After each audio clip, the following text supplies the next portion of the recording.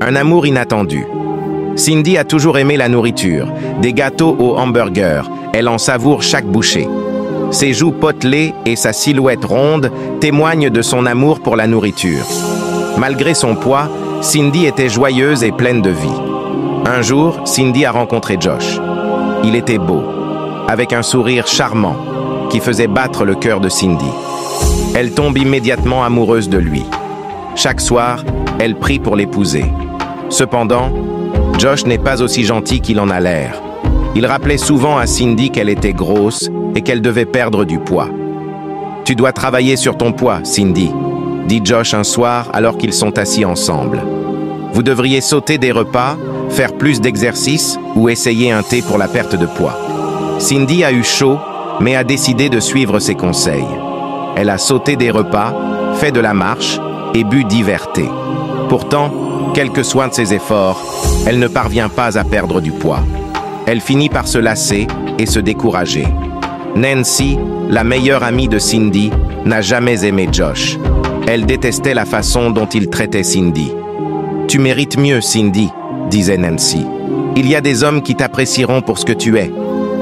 Mais Cindy refusait d'écouter. Elle aimait trop Josh. Elle est loin de se douter que Josh a des vues sur Nancy en raison de sa silhouette parfaite.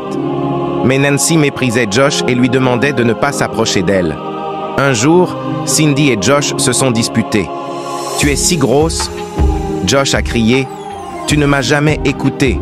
Ce n'est pas étonnant que tu ne puisses pas perdre de poids. Les yeux de Cindy se sont remplis de larmes. Pourquoi es-tu si cruel, Josh? Je fais de mon mieux. Votre mieux n'est pas suffisant. Il a crié. Incapable de supporter les insultes, Cindy est sortie de la maison en courant. Elle était tellement bouleversée qu'elle n'a pas vu la voiture qui roulait à toute allure dans la rue. La voiture l'a frappée et elle est tombée inconsciente. Lorsque Cindy se réveille à l'hôpital, elle ne se souvient plus de qui elle est, ni de ce qui s'est passé. Un homme gentil, Stephen, était à ses côtés. Est-ce que tu vas bien? lui demande Stephen. Il a l'air préoccupé. Cindy le regarde, confuse. Qui es-tu? Où suis-je? Je suis Stephen. Tu es à l'hôpital. Tu as eu un accident, explique-t-il doucement. Je ne me souviens de rien, chuchote Cindy, les larmes aux yeux. Ne t'inquiète pas, dit doucement Stephen. Je t'aiderai à surmonter cette épreuve.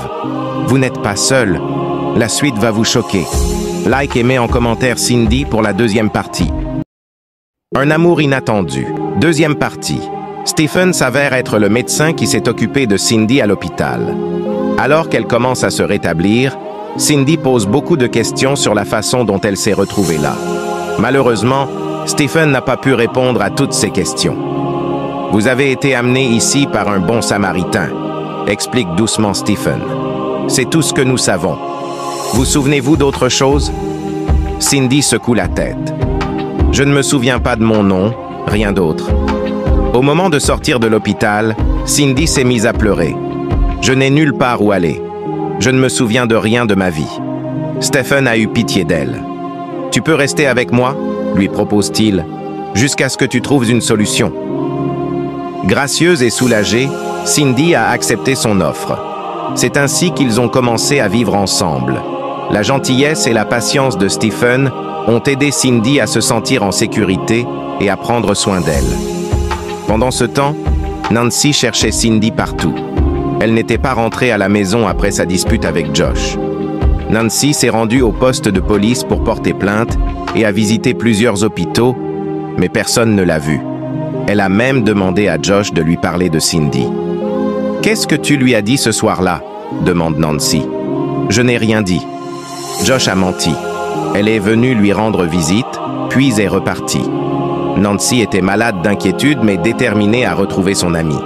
Au fil du temps, Cindy et Stephen se sont rapprochés et ont fini par s'aimer. Un jour, alors qu'ils jouaient à la dure, Stephen poussa accidentellement Cindy, qui se cogna la tête contre le mur.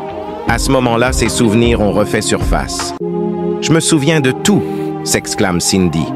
Des larmes de soulagement coulent sur son visage. Elle a immédiatement appelé Nancy. Josh a parlé avec Nancy qui s'est précipitée pour voir Cindy. Elles étaient ravies de la voir. Cindy a présenté Josh comme son petit ami et Stephen a ressenti une sorte de jalousie. Quelques jours plus tard, Cindy est retournée vivre avec Nancy. Josh, voyant une opportunité, a demandé Cindy en mariage. Elle accepte, mais ne cesse de penser à Stephen. Nancy remarque que son amie est inquiète. Es-tu sûr de ce que tu fais? Elle lui demande Tu dois bien réfléchir à ce qui te rend vraiment heureuse. Après avoir longuement réfléchi, Cindy a réalisé qu'elle ne pouvait pas épouser Josh s'il ne pouvait pas l'accepter telle qu'elle était. Elle lui a rendu la bague. Si tu ne peux pas m'aimer pour ce que je suis, alors tu devrais trouver quelqu'un d'autre, a dit Cindy avec fermeté. Sur ce, elle s'habille et se rend chez Stephen.